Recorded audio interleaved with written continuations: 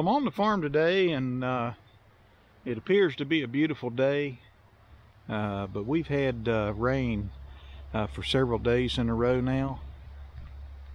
Even though, even though the flags are still, uh, there's a steady breeze uh, blowing through here. You can kind of see some of the leaves on the trees blowing around. Did I mention we had rain? The creek is rolling and even though the skies are clearing up, uh, there's still water rolling out of these mountains into this stream. And so, you know, I, I wouldn't be a bit surprised if it got up into here uh, later on this evening or in the morning.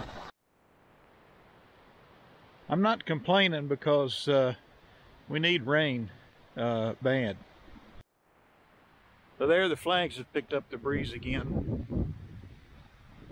It's cool too. It's like 55 degrees.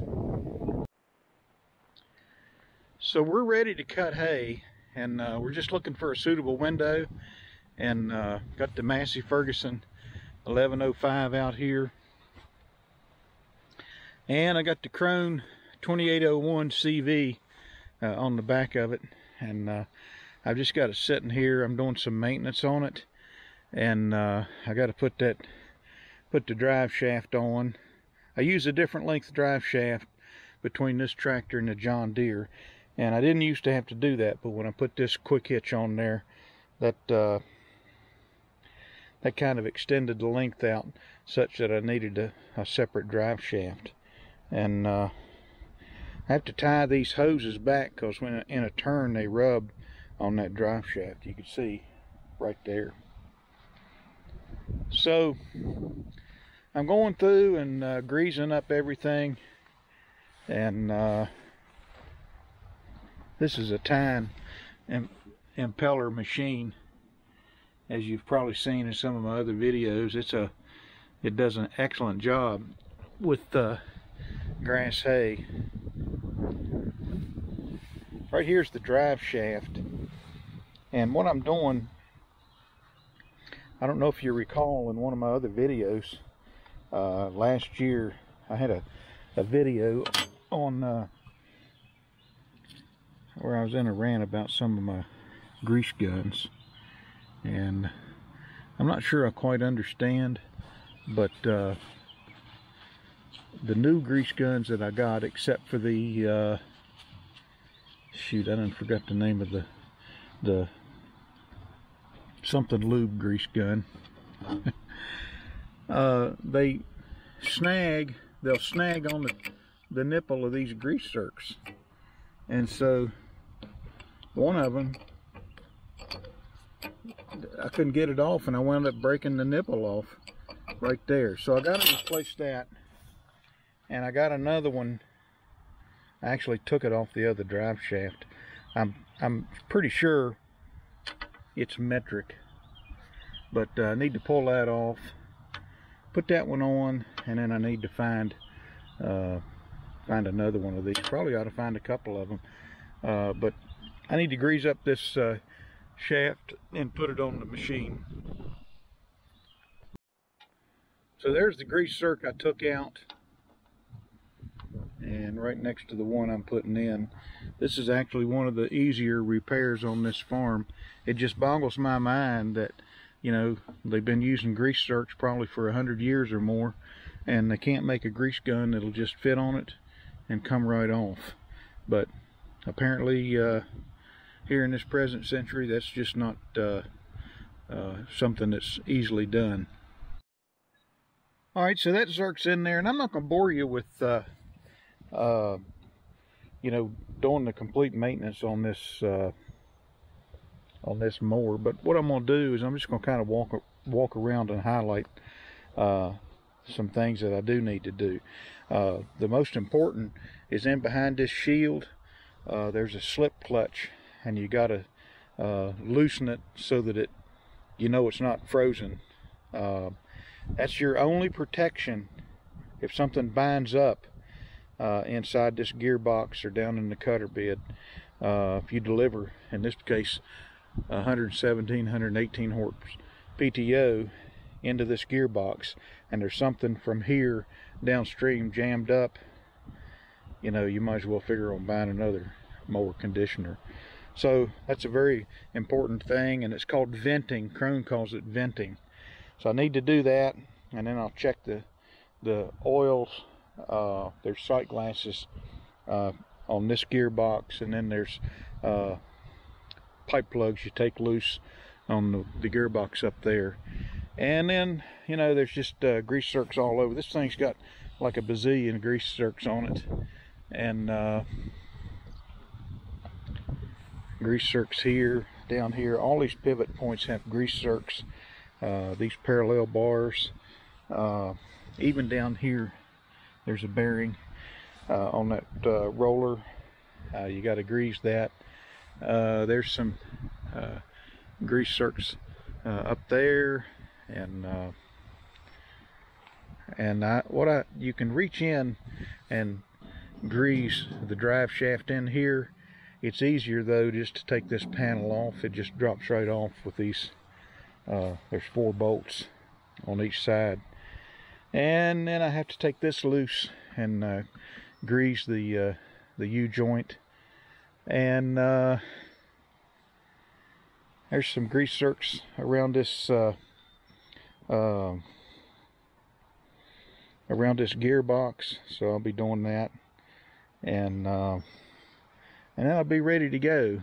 So this is the first uh, first round. I probably should probably should have already had this done but uh, I've been busy frying other fish and uh, as you've seen in some of my videos uh, doing some cleanup here uh, in advance of our reunion. But uh, I wanted to get the 1105 out and run it a little bit and and then I wanted to um, I wanted to uh, kind of get this thing greased up and the clutch uh, the slip clutch uh, so that it's uh, I know it's not locked up and then I'll run it a little bit just make sure everything you know runs up just fine and then when uh, the window presents itself to cut which we're looking for uh, we'll be ready to go. And of course, I got my baler and my my uh, hay rake tedder, my Vermeer.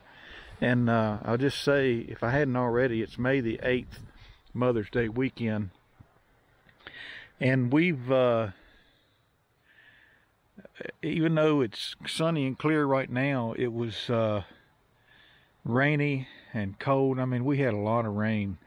And uh, I know one night alone we had an inch and a half uh, on the rain gauge. And uh, so these fields, even with the wind blowing, there's still some dampness underneath when you walk. You can see it on your shoes and you can see a little mud on those tires where I came across the lane from my uh, white barn with the green roof. And uh, so uh, sometimes when you lay hay down on ground that's just saturated, uh, the water out of the ground wants to evaporate into the hay before it evaporates on into the sky. So it makes it harder to uh, dry. Uh, Monday, Tuesday, and Wednesday are going to be uh, uh, clear and sunny. Uh, it's going to be a little colder on Monday, tomorrow. Tuesday and Wednesday, it's going to be in the mid to upper 70s. The lows will be down in the the mid 40s, I think. I think tomorrow's going to be about 37 degrees, I think I saw on the forecast. But, uh, you know, uh, it was my day job. Uh, just a little concerned I might need a little more time than that. And then Thursday it's supposed to rain, and Friday and Saturday. So I can't get myself in a jam uh, uh, where I got to take more time than I need to from my job. And then with rain coming um, I'm just a little skittish to cut. So uh, what we're doing we thought about cutting today but uh, what we're doing we're just going to kind of slow down here uh, do a nice job prepping our equipment. And uh, get everything ready to go and hopefully in another week or so week or two uh, we'll cut one of the reasons I wanted to cut today uh, and early is as soon as we, we, we would essentially be clipping these fields, but what we would do is we would eliminate the stems for the year and uh, everything that would come after this would be second cutting. So it was some, uh, there was some merit to cutting today with the rains coming this weekend. Uh, to, you know, just like your lawn, when you cut it the first time, it, it the growth jumps, and then you get some rain, and the next thing you're out there, you're you're mowing grass every three or four days around your house, and it's no different on a hay field. So we want second cutting uh, especially this year. Uh, and so that's kind of the uh, that's kind of what our rationale was for uh, trying to mow today. But uh, we'll get it. I mean, it'll we'll get more yield if we wait, obviously, and uh, prices are going to be pretty high. I'm, I'm been reading on the internet and I'm I'm afraid to put a price on my hay right now. It just seems like uh, these hay prices. I mean, I'm seven dollars a bale seems like a low price, and I'm seeing prices people talking 10 12 14 dollars for a square bale of hay. So I don't know what we'll put on ours, but uh, we're not going to try to gouge, uh, especially our repeat customers. But the one and dones they may pay uh, they may get something uh, that would make them want to be a repeat customer so or maybe not all right talked a lot uh, didn't want to bore you to death with uh, uh, doing the maintenance on this cutter at the Massey 1105 wonderful tractor and uh, the Krone 2801 CV and you know we're ready to kick off hay season and get it going. Uh, we'll talk to you later.